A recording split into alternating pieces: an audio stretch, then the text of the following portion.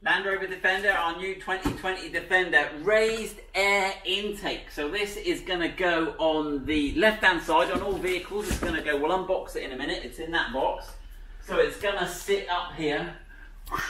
Now, and it's got a little cap on it, but the cap points backwards. There's much debate about whether you want ram air going from the front or whether that, if you're off in a desert, it gets sandy. So it's going to have the air intake pointing back. We're going to take this off here and we're going to take this off here and it sort of goes on here and it's going to take the air in down through that. I don't think it's going to affect the wading height much. I think it's half for show but it's also half to help with the dust. Right, okay now the instructions, this is a genuine Land part, they're a bit worrying. I thought, well, don't look too tricky, it's only a few bits, we'll have a look. But it reckons we've got to take the door off, which is worrying me slightly. I don't know if I'm a door off sort of guy. But right, let's have a look what we've got. Come this way, George. So, what's a right ass when it's at home? I don't know, but there we go. Right, so this is the part number for it. We've got it there. Genuine Land Rover item. It's part of the Explorer pack. So if you order the Explorer pack, it's one of the subcomponents, or you can order it on its own. We'll get these on the website. Right, so here we go. We have that. And, there you go, that is, that's all we've got. That is our lot. Right, let's have a look at this. I haven't, we've looked at the instructions, but I haven't actually looked at this yet. Oh, it's in its own little jiffy bag sack. Right then. So, let's have a look. Right then. Okay, so let's have a look. So not only, so that's going to go on the car. Obviously we've got We've got a little bit of a rubber seal around here. We've got some Land Rover stuff here. I think these two holes here are going to form the fixings. We'll have a look at that. That's what I... Right. I don't know what this little fluted bit here is for. That looks quite flash. So it's got a seal pretty much all the way around. It's got a bit of a... I guess this is to stop it vibrating. I don't think it needs an air seal, but this is a sort of spongy, spongy stuff there. So let's have a look. That's going to go on ah, ah, ah, like that. So that's going to cover that. That's going to go up there. So interestingly that um, normally the air intake's right at the top, but the air intake appears to be all the way down there. Yeah, so if I stick the light up in there and you look down those flutes, George, can you see the light in there? Yeah. So that so the air intake, so it's taking the air intake from here. This bit at the top really isn't Oh, oh yeah, there's a little bit of an air intake there. A little bit of an air intake there, look. You see down in there? No. Not really, but you have to believe me. Hey, you can see my light protection. Right, okay, so that's it, right? Everyone's everyone's bored now. Oh gosh, put the light down. Right, so we've got that, right? We get most of that. Um, what have we got here? There's not a lot to this kit, is there?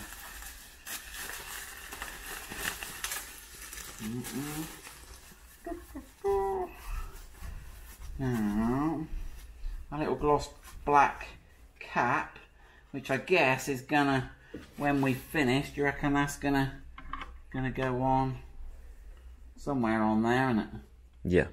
Yeah, I haven't quite worked out how yet. Oh, there's a, that slot there looks like it, there we go, like that, it looks like that. Mm -hmm. Yeah, so that's gonna be a finisher cap. And then we've got some fixing bolts.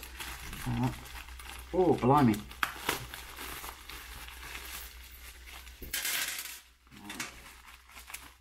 Once That's done. Right, we've got a metal bracket. So we have, let's have a look. We have a metal bracket. I suspect that's going to go. We have a single riv nut, rivet nut. yeah. We've got these two little sort of cage nuts. They're sort of B-Tech riv nuts, really, aren't they? Right. And then, I'm to get in trouble for saying B-Tech now, aren't I, George? Right then. And then we got those bolts. So I'm, I suspect that one's going in there. I'm good at this, George. I reckon two of that, I reckon. So I reckon that's, that's the fixing unit. Now, from what I recall from the fitting instructions, uh, is that these inserts we're going to fit in there. So I reckon these little cage nuts that I've offended already are going to pop in there. Right, like that. that. Why they can't fit them for us, I've got no idea. I guess my labour's cheaper, right? So then we've got to sort of compress those up a bit. So that'll be those. And then this, I think, is going to bolt that to something. Right, should we go and have a look at the instructions now, George? Yeah. Right, so they reckon we should have all these parts. So I think we've got two of those and two of those, and one of those and one of those.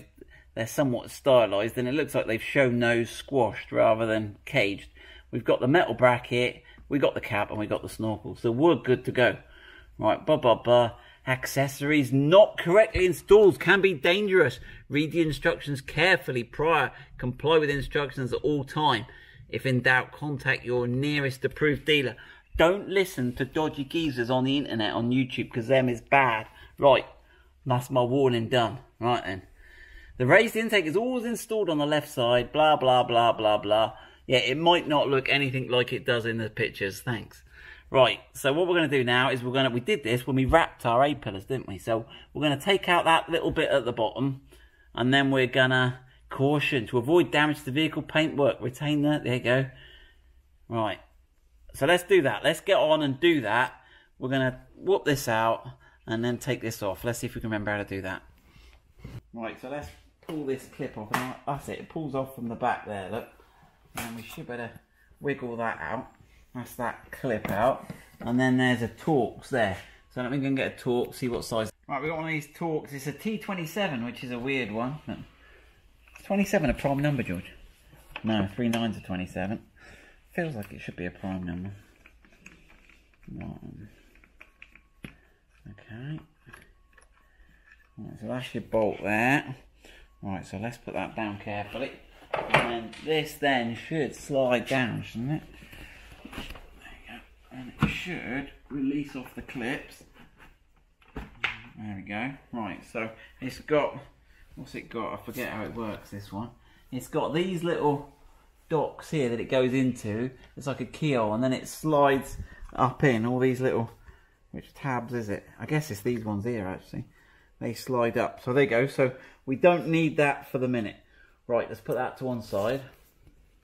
Right, so next is telling us we've got to install this riv nut thing in the top here. And it's saying that the hole may be covered by tape. So we've got to try and make sure the riv nut is correctly seated. And I'll make sure it's secure before moving to the next step. And it said there is a sticker over the hole that will need to be pierced before you install the riv nut. Okay, right, let's have a look. Right, so there's the riv nut, there's the bit of tape. So we need to be, like if I just compress it there, I can see there's a hole there. So what I'm going to do is I'm going to put the nut, or the bolt, sorry, the bolt into the riv nut, make sure it comes through so I'm spreading the load. I'm just going to use that to, to tap it. I'm going to make it find the hole. Yeah, that didn't take a lot, did it? Now, what worries me is that that riv nut there is quite loose in there. It, it It's going to spin when I turn it, which is going to make installing the riv nut quite tricky. I might use a different, I think they've overspec that hole. It's quite loose because these little ridges on the outside of the riv nut are supposed to grip on the outside of the hole. But that's that's just going to spin. Um, so depending what riv nut tool we use, that could be tricky. Right, we've failed. We've now got this other type of riv nut tool. This is designed by a friend of mine in America. Um, and it's got these two wedges. And as these two wedges slide together, it's going to crimp this nut and this nut at the bottom half is going to bellow out and form a captive nut. So we'll try this one, but the problem is Land Rover have created a hole that's too big. It's supposed to be a tight fit, as I explained before. So let me just assemble this. Now the idea is, as I wind this nut in here, these will slide together and that will crimp up. So let's take up the... Now there is actually a little bar I can put in the tool. Let me get the little, he designed it with a little bar. Let me get the little bar. Right, so there's a little hole so I can put that tool in there and that'll stop the tool twisting. And then as I, sorry, you can't see a lot here. Can you see under there, George? I'm trying to. Not really. Not really. And as the wedges slide, it will compress that riv nut. But it's made tricky by two things. One, the riv nut is not the right size for the hole, well the hole's too big. And secondly, um, you've got this standoff, so you've got to find yourself a little spacer that I put under there because you can't get the riv nut tool right next to it. Right, that's going tight now. And as it gets tighter, it gets easier. And now what we've got is the riv nut tools in there now. So if I just undo this nut now, it should leave us a captive nut in there. Right, so I should be able to undo this nut now.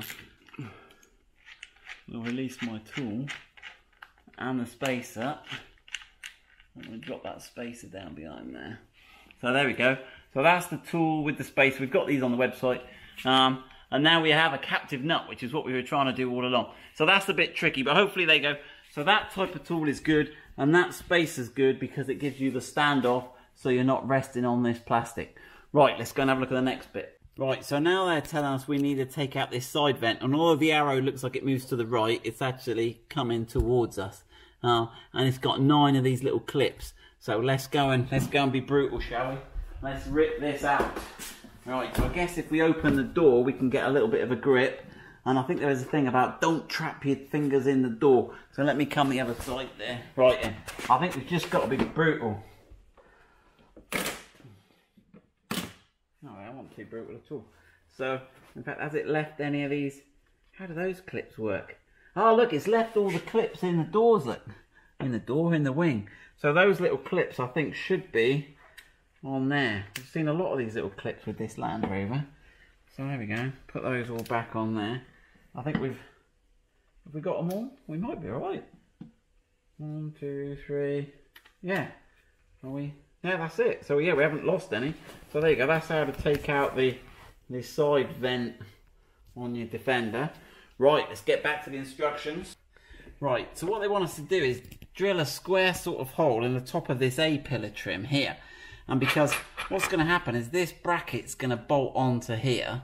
And it needs to know where the hole is there. So I guess they want they want this whole flat bit of the bracket to fit in through there. And then what happens is the snorkel appears to that bracket goes there and it, it bolts up using that bracket and that forms the top fixing here. So it's given us some dimensions that it wants us to cut out on here. So I guess we're going to have to put some masking tape on. Gosh, is that from the outside? That's some fairly complicated rare old dimensions there. They could have given us a little sticker for that. Right, let's have a look. Right, let's put some masking tape over this and see if we can work out these complicated measurements. A lot of this is going to be hidden anyway, so we're not altering. Right, so it reckons it wants, what distance from the top has it got? 11 millimetres from the top. We'll go roughly 11 millimetres from the top there. Okay, this is high-tech stuff. Right, in from the side, and it reckons 15 in from the side. Where How they work this out. And then it reckons 31 in from the other side. 31 in from the other side. And that goes to 32, so it's going to be roughly parallel. And it reckons, well, it reckons it's 45 millimetres down. So like 30, 45 down there. That's a massive hole. Right, so it reckons if we do that, then that bracket should be able to fit in in through there. Right, let's go for it.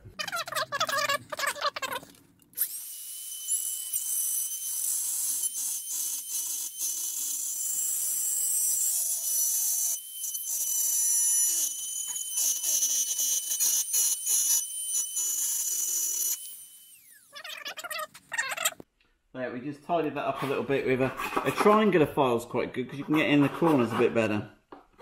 So it's not a, not going to win any awards for that job, am I? But there we go. Right, so let's have a go now. It hasn't ripped my uh, my trim off, has it? My my wrap. I've got to be careful going that way. Right. There we go. So now hopefully this can go back on. You've got to like get it back in there. I remember this when we did the wrapping. You have to get it Like go backwards, that's it. It? That's it. And there we go. So that should go there. And then I can check the metal bracket. Sorry, I'm disappearing. So the metal bracket hopefully then can line up with that and bolt into there. So let's have a hope. Hope that all works out. Right, so they're telling us now we can put all this back in back in here.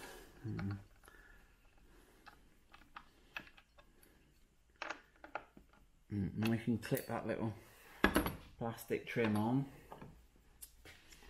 Okay, so if I clip this corner in first and then clip that corner in. That's that done. Right, so we've now got, so we've done all that really just to, they could have fitted a riv nut in there or something. But anyway, so we've now got a hole cut and a riv nut which forms our top mount.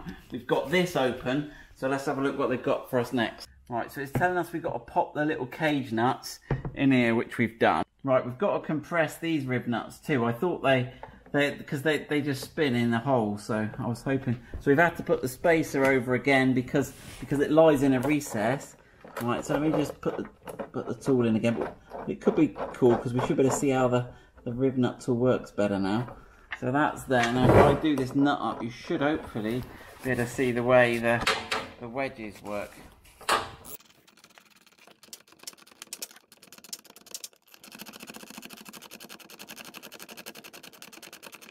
Okay, that should be that one. Undo the. That should be that one compressed up. There's quite a lot of travel on that one. But there we go. So that's both the riv nuts in, and if you look in the hole, you can see they're concentric. Right, and it's saying don't get it in squiffy. It should be concentric. So I think we've got it in concentric. Um, and then what we've got to do is we've got to offer it up. Now this is the tricky bit the bolts go in from behind. Now this is where it gets scary because this is where they tell you, um, this is where they tell you to remove the door. Right, this is the scary one. They don't make a big fuss, but remove the front left door. Ask your Jaguar Land Rover retailer for a copy of this instruction if you do not have access to TOPIx.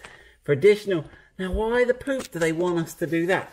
So basically what we've got to do is we've got to put two bolts in from the back and I think you can't get your your hand round the back of these bolts to get the bolts into these nuts. We've put in we've put in the bolts where they're supposed to go and what we've actually added is we've added some anti-loss washers here. So these are like nylon washers that stop it falling out because I was worried they're going to dive back in. So so we, have got those roughly in place. That one's quite an angle, isn't it? What, there we go. And what we've got to try and do now is try and see if without taking the door off, we can line those up to catch these. Right, here we go. This is the plan. So get the door fully open, then come back one click. And it stays there and rests there. And what we're going to do, don't worry about the snorkel for a minute. I'm just going to show you. So we've got these held in place, but I can quite easily get my hand round the back of here. I've got a long reach socket. It's a bit of a fiddle. But you can see there, I can get my, my hand on there, right? And I can get my hand in there and spin that. So what George is going to do, George is going to hold that up. He's going to line it up from the side and show you looking in. So we line it up. Let's see if we can do this, George. Let's see if we can video and do this. So you get that up there, George, roughly. Right, and then you line that bit up there. You can see just in the side there. Right, we in, yeah? Yeah, that's in. Right, now you just push that in gently. Let's see if I can take the camera while you hold that there. And what I'm doing there is, oh, if you can see down in there. Arms, that's it. Give it a little push. That's it. Up a little bit, George. Just up a little. Um. Yeah. Yeah, right. So we'll tighten it up in a minute. Right, and then if we go down the bottom, the bottom one's a little bit higher but you've still got enough room to just about get in. Right, and George, if you line that up at the top, this is kind of rubbish on the video. Right, and I'm spinning this with my my hand here. Right, that's got that bottom one, I reckon. That is just the way to do it. And that saves taking that door off.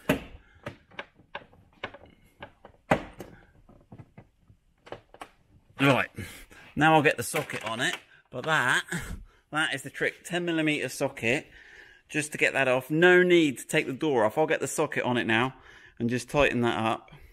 So one thing to watch before you finally tighten the bolts on the inside up is that the door doesn't catch on there. That's getting a bit close there.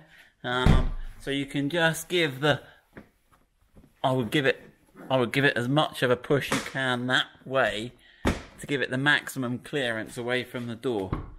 Because it is, it is jolly close, that clearance on the door there. So there you go, just check that before you tighten those up fully. So there we go, we've just got the socket in there, there's enough room to get the socket in there. George might be able to show you something from the side. And that should be pulling that in now. I've got one so one finger behind the socket pushing it against the bolt. So that should be pulling that in.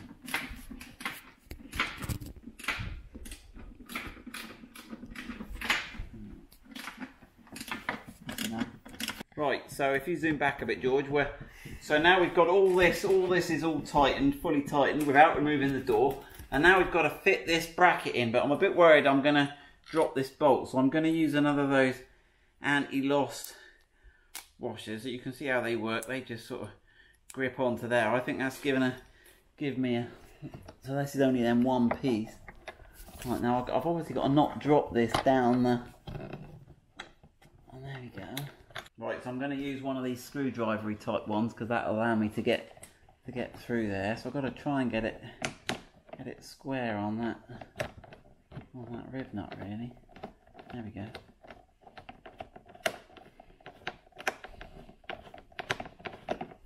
Might be easier with a nut on there. That's getting it.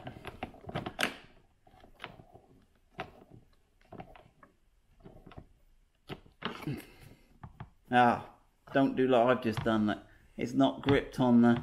That was an epic fail, wasn't it? Yeah. Right, do that again. Right, put the glossy black cap on. Now this sort of concave surface goes against the A-pillar there. We haven't fitted that on. And it's fitting with this little spring clip here. So I think we just line it up and it goes in this little... It goes in that little groove there. One thing before you put the cap on is there is a little bit of double-sided tape here and you can remove the remove that before you put the cap on and there we go and then put the cap on and that should keep it all secure. So that's the raised air intake all finished. Hmm. have a look around that